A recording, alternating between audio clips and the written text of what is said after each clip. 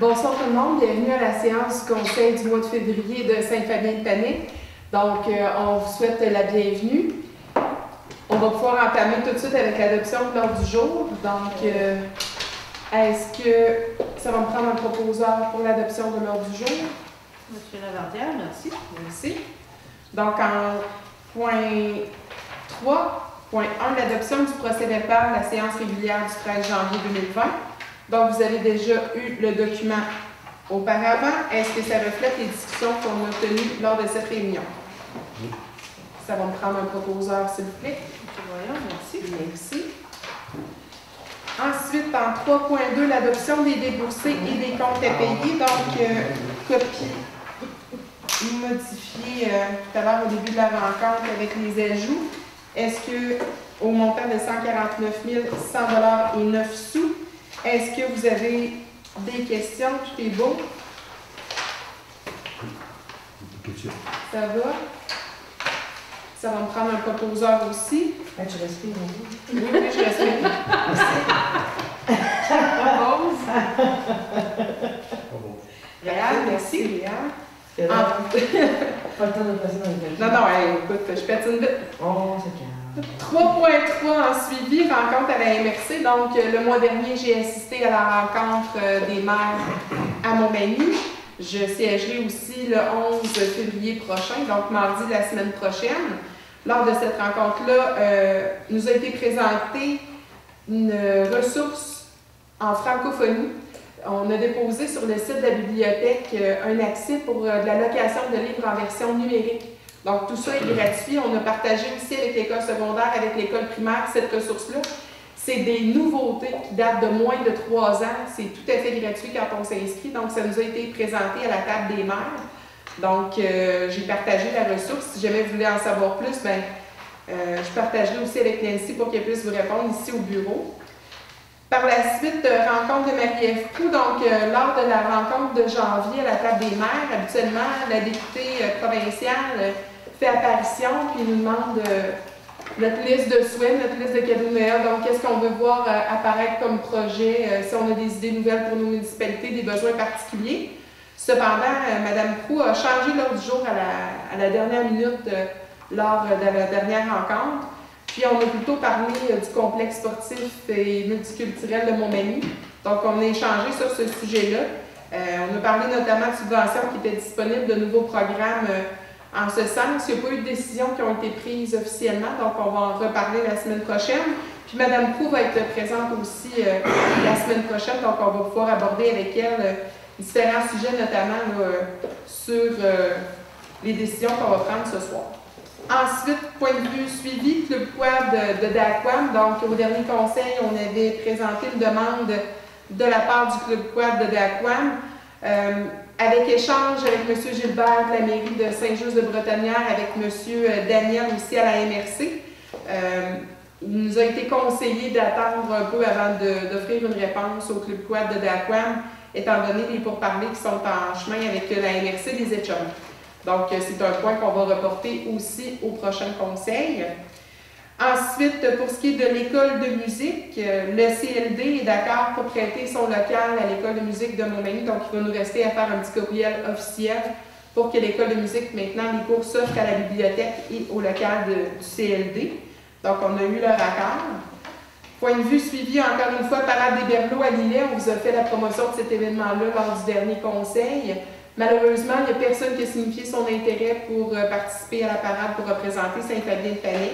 Donc, euh, il est tard un peu aussi pour qu'on puisse euh, faire parvenir vos noms. Donc, on considère la parade des Berlots comme lettre morte pour cette année.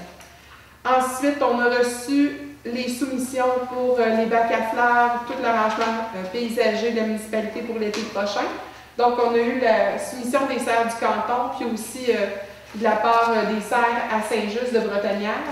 En pré-séance, on a présenté euh, les coûts et puis on a décidé d'y aller avec euh, l'achat local à Saint-Just de Bretonière par économie, donc pour la même offre de, plantes, aménagement, main-d'œuvre, tout ça.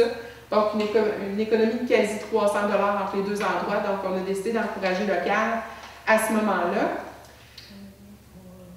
Ça va prendre une résolution, par contre, pour adopter la dépense. Donc, ça va me prendre un proposeur, s'il vous plaît.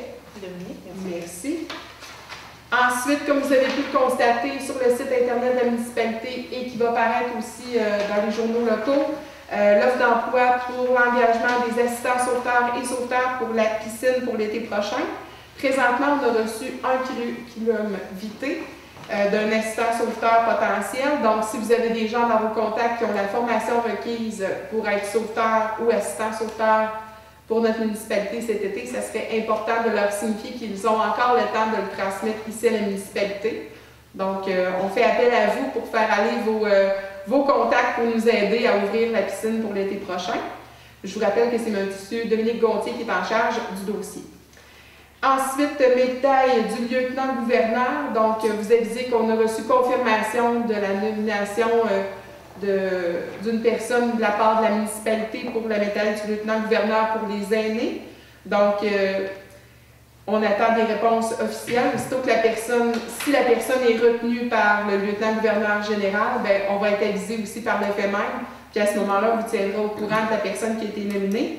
Puis je me suis chargée aussi de remplir euh, la documentation pour le conseil de fabrique qui avait aussi une mise en candidature pour un autre prix pour les aînés aussi. Finalement, rencontre avec Bernard Généreux. Donc, la semaine dernière, euh, Mme Lynn et moi avons rencontré M. Bernard Généreux à la Pocatière lors de sa rencontre annuelle. On a échangé sur le bois d'œuvre avec M. Denis Lebel, ancien euh, député et ministre des Ressources naturelles. On a aussi euh, eu connaissance de Chantier Jeunesse Canada, donc des offres de services pour des groupes de bénévoles qui seraient disponibles à venir parler, travailler dans notre milieu gratuitement à l'été prochain. Donc, on va faire des approches peut-être en ce sens-là, en tout cas s'informer davantage sur ces programmes-là. On va vous tenir au courant aussi. Puis, euh, on a parlé aussi d'économie circulaire, d'écologie. Donc, on a touché à différents sujets. Ça a été très pertinent, notamment l'exemple du Kamouraska on peut se dire quand même qu'à Saint-Fabien-Panay, on fait quand même aussi de l'économie circulaire, puis euh, de l'écologie circulaire aussi, à l'image un peu du Kamouraska, qui est un modèle euh, présentement au niveau du Québec. Donc, on n'a rien envie, il y a déjà des choses qui sont en place, puis il reste encore place aussi à l'amélioration pour certains autres dossiers. En 3.4, nous avons une redistribution de l'allocation de refuge du Parc régional des Appalaches. Donc, à chaque année, euh, la location des refuges qui sont situés dans le parc régional des Appalaches, ça nous donne une redevance annuelle qui nous est versée par le parc. Donc, euh, cette année, la redistribution est en augmentation. Donc, ça nous donne un revenu euh, à la municipalité de 11 674 et 10 Donc, c'est un point d'information. 3.5, renouvellement du service de gestion globale des bornes électriques. Donc, on a reçu de la part de Adénergie euh, l'offre, la soumission pour le renouvellement du service la borne électrique. Donc, c'est un coût total de 440 Donc, ça va nous prendre un proposeur d'entériner la dépense. Impeccable, merci. Merci. Ensuite, en 3.7, c'est bien ça? Non, excusez, 3.6, passé trop vite congrès de la DMQ, donc, euh, qui est l'Association des directeurs municipaux du Québec, donc, euh, à laquelle ce congrès-là, Mme Blanchard assisterait. Donc, on a procédé à son inscription. C'est un montant euh, d'inscription plus la chambre et repas pour cette formation-là. Donc, ça va nous prendre un proposeur pour cette dépense, s'il vous plaît. Merci. 3.7, donc on va avoir besoin d'entériner la résolution suivante pour la vente pour non-paiement des taxes municipales, donc comme à chaque année, quand arrive le mois de février, les gens qui cumulent des retards au niveau des paiements de taxes municipales, vous êtes avisés dans le courant du mois de janvier et de février, comme quoi vous avez un montant de taxes qui est non payé euh, et que vous devez le faire incessamment parce que nous, au 1er mars, on doit transmettre les noms à la MRC puis à ce moment-là, c'est la MRC qui entame les procédures de vente pour non-paiement. Donc, ça vous donne quand même un délai pour pouvoir payer vos taxes municipales si elles ne sont pas faites. Mais dès que votre dossier est transmis à la MRC, on vous rappelle a des coûts supplémentaires de 250 par dossier. Donc, si vous avez une somme en retard à payer sur vos taxes municipales, ça serait important d'appeler ici au bureau, de faire entendre rapidement à la fin février pour procéder au paiement euh, afin de vous éviter des désagréments euh, évidemment, pour le mois de mars. Donc, euh, la résolution, euh, c'est considérant que le secrétaire, euh, secrétaire trésorier directeur général adressé un état indiquant les immeubles sur lesquels les taxes imposées n'ont pas été payées en tout ou en partie conformément aux dispositions de 1022 et suivant du code municipal. En conséquence, nous aurons besoin d'un proposeur et d'un appuyeur de prendre acte du dépôt de la liste des taxes impayées, d'ordonner la vente pour taxes des immeubles sur lesquels les taxes impayées n'ont pas été payées en tout ou en partie sur les immeubles suivants qui sont indiqués sur la liste par le numéro de matricule, le lot et l'adresse, de demander au secrétaire trésorier directeur général de transmettre la présente résolution à la MRC de Montmagny afin que celle-ci procède à la vente par enchère publique en date du 14 juin 2020. que la date est Oui, la date est à changer, 2020. De mandater la directrice générale et secrétaire trésorière de la municipalité à enchérir et à acquérir ces immeubles au montant des taxes en capital intérêt, plus montant suffisant pour satisfaire à toute créance prioritaire ou hypothécaire. Donc, ça va nous prendre un proposeur, s'il vous plaît. Monsieur Laurent. Monsieur Lamartine, merci. Merci. 3.8, euh, Journée de la persévérance scolaire, invitation aux élus. C'est Mme Marianne Cyr du Préca qui nous offrait euh, de participer à la promotion de la persévérance scolaire, les journées qui vont se tenir euh, du 17 au 21 février prochain. Donc, euh, vous allez voir sur les réseaux euh, sociaux beaucoup d'interventions qui vont être faites par des maires, des tables de MRC aussi, les gens de la commission scolaire, les directions d'école, les classes aussi. Vous allez voir beaucoup de gens partager sur la persévérance scolaire. Donc, évidemment, ce sujet-là nous tient à cœur, évidemment, puis on souhaite que nos jeunes réussissent et dans les meilleures conditions. Donc, euh, c'est une invitation aux élus à participer à ces journées-là, euh, puis à participer au mouvement. 3.9, c'est une demande de commandite de la part du CPA de Montmagny, donc étant du club de patinage de Montmagny, étant donné qu'on n'a pas de jeunes de Saint-Fabien qui participent encore une fois cette année. euh, en préséance, les élus ont décidé de ne pas donner suite à la demande de commandite. En 3.10, Fondation de l'Hôtel-Dieu de Lévis, invitation. Donc, il y avait une invitation qui a été faite euh, à la municipalité de participer à une soirée euh, de financement pour l'hôpital de Lévis, mais étant donné qu'on donne déjà par capita, euh, on a décidé en préséance de refuser l'invitation de la Fondation de l'Hôtel-Dieu de Lévis. En 3.11, course tour du lac, de lac frontière, un plan de partenariat. Donc, tout comme l'année dernière, la municipalité euh, s'inscrit comme euh, partenaire sprinter, donc un forfait qui inclut le nom de la municipalité sur un panneau extérieur sur le site, une mention de notre contribution dans le journal communautaire de lac frontière, ainsi qu'une mention de notre contribution sur le site Internet du Parc des Appalaches pour un montant de 100 Ça va nous prendre un proposeur pour adopter ce plan-là. Merci. Merci. Ensuite, Chambre de commerce en 3.12, Chambre de commerce de Montmagny, invitation à un 5 à 7. Un 5 à 7 qui a lieu demain soir à Montmagny et il n'y a pas d'élus qui ont signifié leur intérêt d'y participer. Donc, euh, on refuse cette offre-là.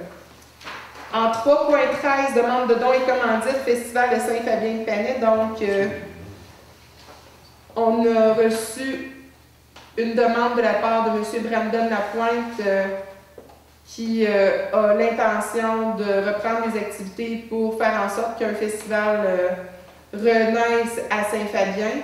Donc, il veut reprendre le flambeau. Il demandait à la municipalité euh, s'il pouvait compter sur nous pour une partie du financement et tout ça, puis qu'il était prêt à donner des redevances et tout. Euh, en préséance, les élus ont décidé de participer à la même hauteur que le comité précédent, c'est-à-dire si activité à avoir lieu, on offre le prêt de la salle pour euh, gratuitement pour euh, aider.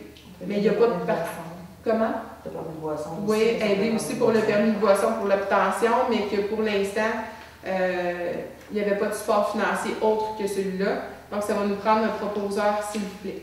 Posé. Merci. Ensuite, 3.14, souper bénéfice du centre d'entraide familiale. Donc, le 28, euh, excusez-moi, non, le 29 février prochain, à la salle municipale de Notre-Dame du Rosaire, va avoir lieu le premier souper bénéfice du centre d'entraide familiale euh, de la MRC de Montmagny, donc organisme qui est à Sainte-Apolline de Paton, euh, sur lequel je siège. Un souper bénéfice, euh, c'est dans le but évidemment d'amasser des sous pour aider le centre familial dans ses œuvres. Cette année, ben, ils ont décidé d'y aller de cette façon-là pour accumuler des sous un peu plus. Donc, un souper bénéfice, on va chercher des gens d'affaires, des gens du milieu. Euh, puis, euh, évidemment, tous les citoyens sont invités aussi à participer. Si jamais vous êtes intéressé à participer au souper Michoui, qui va avoir lieu le 29 février prochain, ben, vous pouvez contacter directement le centre d'entraide à Sainte-Apolline pour vous procurer des cartes. Elles sont au coût de 40 par personne. La municipalité a décidé d'encourager le centre d'entraide avec euh, ce bénéfice-là en achetant deux cartes. Donc, euh, une pour moi parce que je représente la municipalité ainsi qu'une pour Mme Lynn Hébert. Ça va nous prendre, s'il vous plaît, un proposeur. Réal, merci. Merci. 3.15, calendrier des activités de la bibliothèque. Donc, comme je vous en avais parlé au mois de janvier dernier, la table des bibliothèques de la MRC de Montmagny euh, nous a offert euh, trois ateliers qui vont avoir lieu à Saint-Fabien. Le tout a été confirmé. Donc, on va avoir euh, la présentation d'un artiste qui est M. Jocelyn Bérubé, conteur, une artiste peintre ainsi qu'une conteur qui va venir animer des activités à notre bibliothèque. Le calendrier officiel n'est pas disponible encore parce qu'on attend entente avec les artistes, mais c'est sûr que ça se fait dans le courant de l'année 2020. Dès que les dates vont être sorties, ça va être publié dans le réveil sur le site de la municipalité ainsi que sur le Facebook de la bibliothèque. Donc, on vous tient au courant et on espère votre participation, évidemment. En 3.16, renouvellement de l'adhésion à Passion FM. Donc, comme à chaque année, euh, la municipalité adhère avec une carte de membre organisme à la radio Passion FM des aides-chemins, ce qui nous permet aussi de diffuser les activités de nos différents comités. Si vous, par vos organismes, voulez aussi les promouvoir, ben, vous pouvez passer par la municipalité. Puis nous, à ce moment-là, on peut aussi faire le lien avec Passion FM pour diffuser vos activités à venir. Donc, euh, le montant est de 40 annuels, si je ne me trompe pas. Ça va nous prendre un proposeur, s'il vous plaît. Lynn. Merci. En 3.17, euh, c'est la résolution de la MADA. Donc, étant donné que la municipalité Amis des aînés a reçu une toute nouvelle subvention dans le cadre du volet 2, on a une résolution à prendre, euh, considérant que les aînés tiennent une place importante dans notre communauté et qu'ils sont au cœur du développement de nos municipalités. Considérant que les municipalités participantes à la démarche collective ont procédé en 2018 à la mise à jour de leur politique et de leur plan d'action en faveur des aînés, que le plan d'action adopté est de 2018 à 2020. Considérant que la municipalité doit prolonger son plan d'action MADA de deux ans pour avoir un plan d'action 2018-2022. Considérant que la MRC va prolonger son plan d'action de deux ans afin de s'arrimer avec les municipalités et ainsi avoir un plan d'action 2018-2022, nous aurons besoin d'un proposeur pour que la municipalité prolonge son plan d'action MADA de deux ans pour l'échelonner de 2018 à 2022. Donc, ça nous prendra un proposeur, s'il vous plaît. Bon, Vu que vous êtes responsable déjà du dossier, c'est mieux d'avoir un autre conseiller pour appuyer. c'est vrai. 3.18, centre d'entraide familiale, invitation spéciale pour le brunch familial. Donc, le brunch annuel du centre d'entraide va avoir lieu dimanche le 16 février. Donc, c'est le brunch de la Saint-Valentin. Activité de financement qui est tenue ici par le centre d'entraide familiale. C'est 15 la carte pour les adultes et un peu moins pour les enfants. Il y a toujours quelques cartes disponibles à l'entrée de la salle municipale de Sainte-Apolline. Le brunch a lieu entre 10h et 13h euh, et il est euh, cuisiné par euh, des bénévoles et le restaurant Le Répit. Donc, il y a des prix de présence, une vente à la criée. Le déjeuner est toujours bon, c'est à volonté. Ça nous fait plaisir de vous servir vos œufs tournés ce matin-là en compagnie des autres membres du conseil d'administration. Donc, la municipalité a fait l'achat de deux cartes pour le brunch. Donc, seront vos représentants, M. Réal Franqueur ainsi que moi-même. Donc, ça va nous prendre un proposeur, s'il vous plaît. Dominique. Merci. Merci. 3.19, on avait euh, une offre d'activité, mais étant donné qu'elle a été annulée, on a aboli le point. 3.20, décret de population 2020. Donc, euh, Nous accusons réception du décret de population 2020. Donc, les chiffres se prennent au mois de juillet. La population actuelle de Saint-Fabien-Panay se nombre à 925 personnes. C'est une variation entre 2019 et 2020 de moins 47 personnes. Donc, euh, on peut expliquer aussi euh, par, oui, des déménagements, mais aussi euh, des décès, évidemment.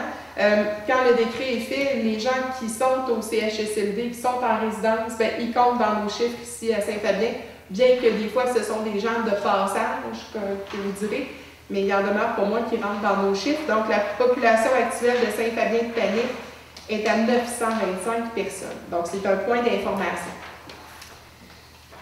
3.21, demande de dons et commandites du club de motoneige. Donc, euh, Madame Vicky Thibodeau, bénévole au club de motoneige, nous demandait de participer à l'activité de drague de Vieux-Pont qui va se tenir le 15 février 2020 prochain. Donc, samedi le 15 février. C'est bien ça? Non, c'est vendredi le 15. Non, c'est samedi. C'est samedi? C'est marqué 15 février. Oui. 15 février. C'est- samedi. c'est- Samedi. OK, excusez-moi, c'est moi qui ai mêlé. Donc, euh, on vous en fait la promotion si vous voulez aller assister. C'est une activité qui, euh, qui rejoint beaucoup de gens et qui attire de la vogue aussi dans la municipalité. Cependant, euh, la municipalité a décidé de ne pas euh, engager de somme pour euh, cette activité-là. Par contre, on suggère au club de motoneige que pour les années subséquentes, vous pourrez s'adjoindre avec le comité des loisirs pour organiser certaines activités. Point 3.22, correspondance. Donc, on a fait euh, dépôt euh, de l'appel à l'action de Santé Canada concernant le règlement sur le vapotage. Donc, euh, Santé Canada veut alourdir un peu la réglementation concernant le vapotage dans les lieux publics, puis euh, faire en sorte aussi d'ajouter de la réglementation pour rendre le vapotage moins attirant chez nos jeunes, parce que bien que la consommation de tabac euh, a diminué au Canada, ben, il en demeure pas moins que le vapotage chez les jeunes est à la hausse. Donc, euh, on accueille favorablement la décision du gouvernement de miser sur la prévention là-dedans. Puis aussi Bernard Généreux qui nous a fait parvenir deux communiqués de presse, notamment sur euh, la rencontre dont je vous ai parlé tout à l'heure.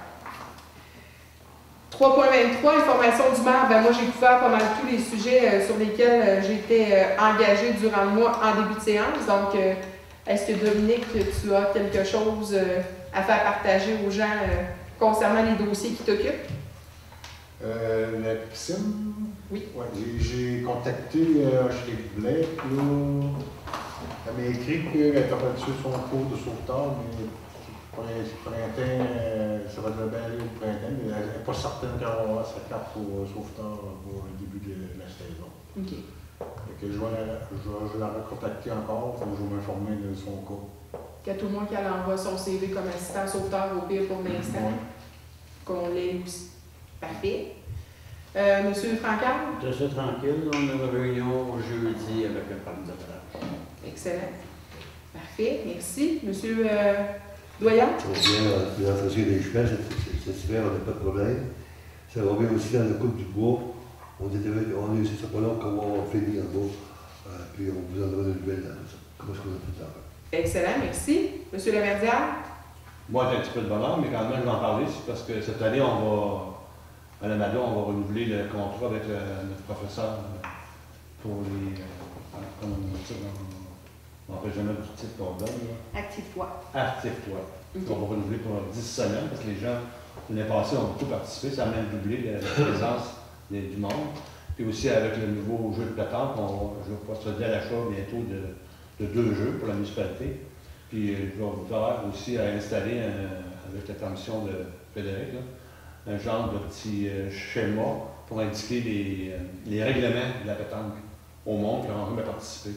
Alors, on va trouver une petite place avec un, un petit plexiglas pour mettre les règlements, mais ça, ça va se faire là, quand les chaleurs vont venir d'ici euh, un mois et demi en avant. Excellent, merci. Madame Hébert? Euh, ben, on pourrait dire que les offres d'emploi sont sorties pour euh, le terrain de jeu et le service de garde. Euh, Nancy, je me souviens pas de la date, jusqu'à quelle date on avait mis, Ça, c'est fin février. Fin février, février. Fait que euh, c'est passé, ça a, été, ça a été partagé sur la municipalité. Puis euh, de voir au monde donc, euh, ils vont pouvoir que c'est le temps-là. C'est- plus de bonheur que de coutume, mais vu que les jeunes à l'été nous ont dit que euh, quand on fait les offres d'emploi, ben, eux autres sont déjà mindés pour. euh, fait que si on va avoir des jeunes, ben, c'est là qu'il faut. euh, c'est pour ça qu'on est d'avance comme ça cette année. Excellent. C'est bien correct. Période de questions? Est-ce qu'on a des questions jusqu'à présent? Pas de questions jusqu'à présent? Parfait. En 4.0, sécurité publique, révision du schéma de couverture de risque en sécurité incendie, engagement prioritaire. Donc, le mois dernier, euh, juste avant la rencontre de la table des maires à la MRC, j'ai assisté à la rencontre euh, sur le comité incendie de la MRC en compagnie de Mme Blanchard et de Frédéric Fortier, euh, où on a rencontré des intervenants du milieu parce que présentement, le schéma de couverture de risque de la MRC de Montmagny n'est pas à jour. Depuis 2013, euh, le schéma de couverture de risque, c'est pour une période de 5 ans. Depuis 2013, notre schéma est échu. Si vous savez calculer, ça veut dire que ça fait 7 ans que notre schéma de couverture de risque n'a pas été renouvelé. Ça a des euh, conséquences qui pourraient être graves. Première des choses, augmentation des mutuelles d'assurance, augmentation des coûts. Ça peut même être des refus euh, d'assurance parce que les municipalités et la MRC ne sont pas à jour sur leur schéma de couverture de risque. Évidemment, ça coûte de quoi à la municipalité, ça peut coûter quelque chose au MRC, mais tout ça, en bout de ligne, c'est les citoyens qui risquent aussi euh, d'en écoper un jour ou l'autre si le gouvernement décide de mettre de l'avant euh, des sanctions. Puis les mutuelles d'assurance, évidemment. Donc, on a été pressés, les maires, d'adopter le plus rapidement possible, euh, non pas le schéma, mais à tout le de faire la déclaration de nos, de nos biens et services, de faire aussi l'inspection de nos facteurs de risque dans nos municipalités. Saint-Fabien, nous autres, c'était déjà fait. Fait que euh, là-dessus, on était à jour. On attend quand même euh, que le portrait de la MRC soit fait au complet. Mais il en demeure pas moins qu'on doit prendre ce soir une résolution euh, qui va faire en sorte d'appuyer évidemment le, mouvement et de s'engager à respecter nos, nos engagements en couverture de risque. Ça ne veut pas dire que ça coûte de l'argent. Ça, je tiens à le réitérer. C'est pas parce que le schéma de couverture de risque, c'est pas une obligation de, sous et d'investissement. C'est une, une obligation de service à rendre à la, à la population puis en matière de sécurité publique. On doit s'assurer qu'on est en mesure de répondre euh, à notre population en cas de besoin, en cas d'incendie, en cas d'inondation, en cas de panne d'électricité prolongée. Donc, tout ça, ça rentre là-dedans. Puis, en matière de sécurité publique, pour nous éviter des désagréments au niveau municipal. Donc, la résolution qui vous est présentée ce soir, c'est pour en faire un engagement prioritaire de notre révision du schéma de couverture de risque en matière de sécurité incendie. Donc, on, est exposé présentement en cas de réclamation de procédure judiciaire. Euh, la mutuelle des municipalités aussi va ajuster ses polices d'assurance parce que sans schéma de couverture de risque, en 2020, ça risque d'être à la hausse, puis on va y aussi, le fait qu'on n'ait pas de schéma de couverture de risque révisé, ça peut nous priver l'octroi de certains programmes de subvention de la part du gouvernement. Donc, quand je vous dis que ça a des instances, ça en a point de vue économique, point de vue sécurité publique.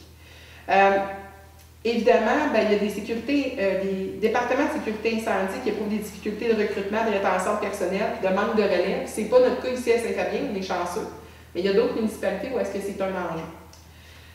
Donc, euh, vous allez être invités à participer à une rencontre avec euh, les gens de la MRC. Ils vont venir vous parler de, la situation de Saint-Fabien. Où est-ce qu'on a du travail à faire? Qu'est-ce qu'on a à réviser? Puis euh, ça, ça s'en vient. Probablement en mars ou en avril. La date est à déterminer. Je vais avoir plus de nouvelles cette semaine euh, là-dessus.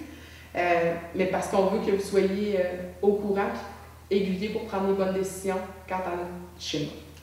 Donc, euh, voici donc, qu'est-ce qui s'est dit, c'est que le conseil municipal de Saint-Fabien de Panay priorise la révision de son schéma de couverture de risque et s'engage à réviser au plus tard le 31 juillet 2020. Que notre conseil municipal et la direction des municipalités collaborent, participent et prennent acte des actions et des travaux du comité de sécurité incendie afin de mettre en œuvre un schéma de couverture de risque qui va optimiser le service aux citoyens tout en respectant les engagements qui en découlent, tant sur le plan organisationnel, technique, financier et des ressources humaines. Donc, euh, ça va nous prendre un proposeur pour appuyer cette résolution-là. Ah. Merci. Merci. Donc, comme vous avez pu le constater avec le document, là, je vous avais présenté euh, les notes que j'ai prises lors de cette euh, rencontre-là. Donc, euh, vous voyez qu'est-ce qu'on a euh, à faire, à ne pas faire et tout ça. Donc, vous en avez deux petites pages de lecture exhaustive à faire euh, en lien pour euh, mûrir vos prochaines réflexions pour le prochain conseil. En 5.0, transport, programme d'aide à la voirie locale. En 5.1, l'accélération des investissements sur des réseaux routiers locaux pour le respect des infrastructures routières locales, le projet de la rue Labrec. Donc, euh, on a reçu subvention euh, pour la rue Labrec. Cependant, les travaux doivent être faits et terminés pour le 31 décembre 2020. Euh, comme vous le savez, on euh, on n'est pas à la dernière minute pour prendre cette décision-là, mais pratiquement, parce que présentement, les, notre soumissionnaire est en train de booker son agenda, son calendrier. Euh, puis on s'est déjà fait jouer des tours par le passé là, à retarder des décisions comme celle-là. Donc, on va avoir besoin de, de votre décision. Est-ce qu'on va de l'avant avec le projet de la rue Labrec, donc avec le pavage de la rue Labrec sur la longueur, donc la réfection. Donc, ça veut dire travaux d'excavation, ça veut dire creusage de fossé et ça veut dire aussi pavage sur le dessus. Donc, euh, en pré-séance, on a discuté, on a eu Frédéric qui a répondu aussi à nos questions. Est-ce que vous avez euh, besoin d'échanger ou si euh, vous êtes prêt à prendre la résolution, considérant que l'aide financière qui nous est accordée, si elle n'est pas dépensée pour le 30 décembre 2020, ben on la perd. Puis qu'elle finance à la hauteur de combien les travaux? C'est maximum 750 000. Donc, on perdrait une subvention de 750 000 Il nous reste combien à payer après ça? Euh, on est en train de regarder ça avec euh, France Thibault, parce que le plan famille est vraiment d'entendre parce que ça ne couvre pas ok. toutes les dépenses. Allons-y, on pourrait commencer les travaux, c'est tout. Oui. Il faut en finir. Donc, vous en faites une proposition, M. Doyon? Oui. Monsieur Vaillant, tout à fait. Merci. Loisirs et culture en 6.0, statistique de la patinoire. Donc, en pré-séance, on a jasé de la patinoire un petit peu. On a vu que les gens avaient apprécié le petit, le petit feu de camp euh, lors de la tenue du match intermunicipal qui, qui est arrivé comme un petit cheveu sur la place, mais qui a été bien apprécié. Donc, on a déplacé le banc, il y a de la présence à la patinoire, il y a des jeunes qui viennent, il y a des gens même qui n'avaient pas chaussé de patin euh, depuis plusieurs années et qui, là, se laissent aller le, le patin, comme on dit. Donc, on va demander à notre euh, personne ressource sur place de tenir des statistiques euh, dorénavant sur le nombre de personnes qu'elle voit fréquenter la patinoire sur les heures d'ouverture pour qu'on ait des chiffres pour statuer euh, pour nos décisions à la fin de l'année. Donc, c'est Mme Hébert qui va faire le lien avec notre employé. En 6.2, demande de subvention Emploi d'été Canada. Donc, à chaque année, la municipalité fait appel à Emploi d'été Canada afin de subvenir euh, financièrement l'engagement de nos jeunes, soit pour le terrain de jeu, la piscine, etc. Donc, selon les critères du député, on va coter pour euh, demander le plus d'employés possible sous subvention pour euh, essayer d'avoir le maximum là, de, de financement possible pour que ça engage le moins de sous possible à la municipalité et en faire bénéficier le plus de jeunes possible. Est-ce que ça prend une résolution là-dessus? Bon, on peut en prendre une résolution. Une résolution, parfait. Donc, ça va nous prendre un proposeur, s'il vous plaît. Monsieur Lavandière, merci. Merci. En 7.0, autre sujet, en 7.1, activité de la relâche. Madame Hébert? Euh, oui, euh, cette, cette année, euh, on a une nouveauté. La nouveauté, c'est que notre semaine de relâche va être intermunicipale. Euh, puis, euh, on va vous offrir sept journées d'activité euh, dans notre semaine de relâche à comparer à trois, quatre. Fait qu'on aura la chance euh, d'étaler ça sur une semaine. On a deux grosses sorties. La sortie de euh, Curry Factory, Puis le vendredi, on va au Mont-Royal. Les autobus vont être organisés. Mais euh, pour les autres journées, il n'y a pas d'autobus pour la table municipale, sauf que la municipalité va quand même offrir un service d'autobus pour les citoyens, à condition, c'est sûr qu'on va mettre un nombre minimal d'inscriptions pour les activités. Fait que euh, la semaine prochaine, dans la semaine du 10, les inscriptions vont arriver à l'école, puis les gens auront jusqu'au 21 février pour euh, le retour des inscriptions. On a fait aussi l'acquisition d'une vingtaine de paires de chandails de hockey, les joueurs de hockey. Euh, ça veut dire une paire, on a un kit bleu, on a un kit blanc. Fait que j'ai acheté 20 paires de chandails, puis ça part de primaire à aller au secondaire. Fait que le monde, les citoyens veulent aller euh, se faire une game de hockey euh, amical entre amis, ben ils auront des chandails euh, à leur disposition pour, euh, pour s'amuser. Puis aussi, qu'on va avoir une nouveauté cette année, c'est qu'on a une sortie à la table municipale, mais que pour les ados. Ben, secondaire seulement. Secondaire 1 à secondaire 5. Ça va être dans la semaine de relâche. On n'a pas encore discuté c'était quoi la sortie, mais ça va être une sortie que pour eux autres. Fait, à venir, euh, ils vont avoir les informations aussi en même temps que, que pour euh, le primaire. C'est ça. Fait que c'est ça. Super, merci beaucoup. En 7.2, formation sur la baignade dans les lieux publics euh, pour euh, M. Bruno, donc euh, qui assisterait à une formation euh, concernant la baignade publique, la sécurité des bains publics. Donc, euh, si je ne me trompe pas, c'est du côté de ch- À Beaupré, À le Beaupré. 26 février. le 26 février. Donc, ça nous prendrait un proposeur, s'il vous plaît. Dominique? Merci. Merci beaucoup. Il n'y avait pas d'autres sujets que vous vouliez ajouter? Non. Ça va. En 8.0, période de questions des contribuables. Euh, La ça, va, euh, ils C'est 750 000 maximum. C'est pas un pourcentage, c'est un montant fixe. Il y a une 750 000. Maximum. Ouais, Si le- un peu- combien? Oh, ben là, on n'a pas encore finalisé les, les- les- tout le détail parce qu'il faut compter tous les actes notariés que s'il faut acheter comme des. Ben, pas acheter, mais euh, acquérir des, des parcelles de terrain pour euh, améliorer le, le drainage de la rue. Euh, on est à finaliser, mais c'est sûr qu'il va falloir faire un règlement d'emprunt. C'est ça qu'on est en train de regarder pour voir euh, le montant que la municipalité devra emprunter pour euh, faire les, Ouais, le mais projet. pas été en solution pour ça? On a, le soumis- on, a la, on a la soumission, on n'a pas tous les frais qui vont se Ah, euh, Les frais qui sont en dehors du. comme l'arpentage, etc. C'est pas d'idée approximative. Non, on, est, on, on va encore, on est encore à peine des chiffres, là, mais euh, c'est ça, il faut falloir faire un règlement d'emprunt parce que ça ne couvre pas tout le projet, parce qu'on se souvient c'était un million point quelques le projet. Ah, pas, ok. Aviez-vous autre question? Non? Donc, euh, on serait rendu à la levée ou à l'ajournement de la séance. Ça nous prendrait un proposeur. Je sais pas, Oh, oui. j'ai oublié. Oui. Le 21 février Oui. euh, aura lieu la marche de raquettes euh, qu'on fait à chaque année. Euh, sauf que euh, on va revenir sur un itinéraire parce qu'on va peut-être changer le, le- le- Le trajet. le trajet de place. Fait que ça aussi, on va, euh, on va tenir l'information Par qu'on va l'école à l'école euh, école primaire. Excellent. Parfait. Donc, ça va nous prendre un proposeur pour la levée de la séance. Merci, Réal. Donc, euh, je vous souhaite une bonne fin de soirée, puis on se revoit en mars avec M. Claude Voyant, qui sera de retour de ses vacances. Merci.